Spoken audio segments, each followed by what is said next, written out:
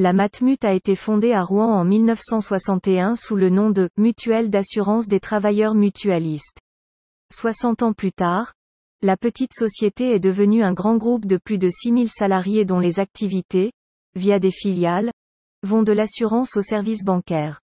Le nombre de ses clients, appelés sociétaires, dépasse les 4 millions. Le 16 novembre 2021, 60 ans après sa création, la Matmut a connu sa première grève générale. À l'appel de cinq syndicats, les salariés du siège, à Rouen, mais aussi de toutes les agences et plateformes de France étaient appelés à se mobiliser pour dénoncer la dégradation des conditions de travail. Selon Ludovic Barouin, délégué CGT Matmut, la souffrance au travail a augmenté et touche tous les services. Il explique que depuis ces quatre dernières années, une nouvelle organisation a été mise en place dont la finalité est d'augmenter la productivité des salariés, ce qui, affirme-t-il, est contraire au statut de la mutuelle.